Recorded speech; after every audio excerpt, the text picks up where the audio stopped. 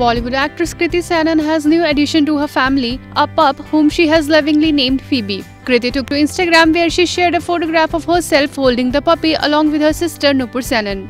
Phoebe, meet the new member of our family. She is adorable. Disco has a new friend at home.